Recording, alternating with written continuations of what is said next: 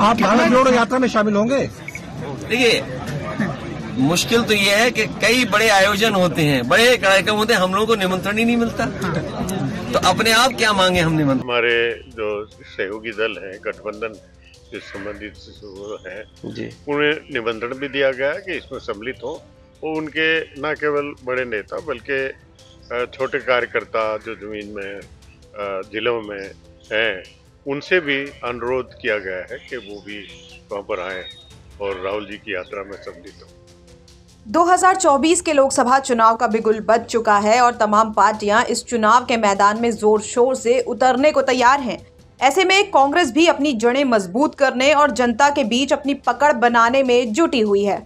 कांग्रेस की भारत जोड़ो न्याय यात्रा लगातार जारी है और जल्द ही ये यात्रा यूपी की तरफ़ रुख करने वाली है। ऐसे में इंडिया अलायंस के घटक दलों को भी इस यात्रा में शामिल होने का न्योता दिया गया है। लेकिन सपा प्रमुख अखिलेश यादव ने मीडिया के सामने न्योता मिलने की बात से इनकार कर दिया है। वही कांग्रेस नेताओं का कहना है की सिर्फ़ इंडिया अलायंस ही नहीं, बल्कि तमाम छोटी पार्टियों और उनके कार्यकर्ताओं को भी यात्रा में शामिल होने का न्योता दिया गया है। ऐसे में एक बार फिर अब ये दिखाई दे रहा है कि इंडिया अलायंस में सब कुछ ऑल इज़ वेल नहीं है।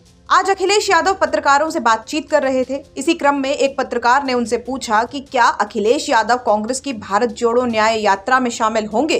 तो सुनिए अखिलेश यादव ने इस पर क्या कुछ कहा। आप भारत जोड़ो यात्रा में शामिल होंगे?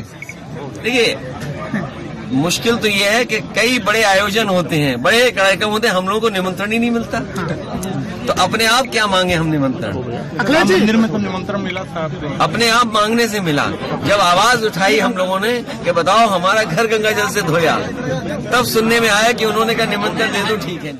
वहीं इस मामले को लेकर जब हमने कांग्रेस के वरिष्ठ नेता पीएल पूनिया से बात की तो उनका इस मामले को लेकर जो कुछ कहना था वो जानिए। सर क्या और जो दल हैं आपके चाहे वो अलायंस है और दलों क्या उनको इनविटेशन इस यात्रा के लिए मिला है? किस तरीके से आप और दलों से कोऑर्डिनेट कर रहे हैं? ये अभी समय है इस बारे में सब पूरी चर्चा करके करेंगे।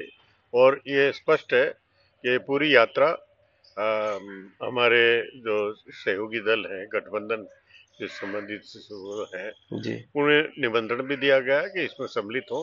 वो उनके न केवल बड़े नेता बल्कि छोटे कार्यकर्ता जो ज़मीन में जिलों में हैं, उनसे भी अनुरोध किया गया है कि वो भी वहाँ पर आए और राहुल जी की यात्रा में सम्मिलित हो तो दोनों ही नेताओं की बातों में तालमेल नज़र नहीं आ रहा है। ऐसे में इंडिया अलायंस में कांग्रेस और सपा के बीच क्या कुछ चल रहा है, इस पर सवालिया निशान खड़े हो रहे हैं। वहीं ऐसा पहली बार नहीं है कि दोनों दलों के बीच तालमेल की कमी दिख रही हो। समाजवादी पार्टी ने जब बीते दिनों अपनी उम्मीदवारों की पहली सूची जारी की थी, तब भी कांग्रेस इससे नाखुश दिखी थी। सीट शेयरिंग के मामले पर भी दोनों ही पार्टियाँ आमने सामने दिख रही हैं। ऐसे में अब देखना दिलचस्प होगा कि इस खींचातान का आगामी चुनावों पर क्या असर पड़ता है।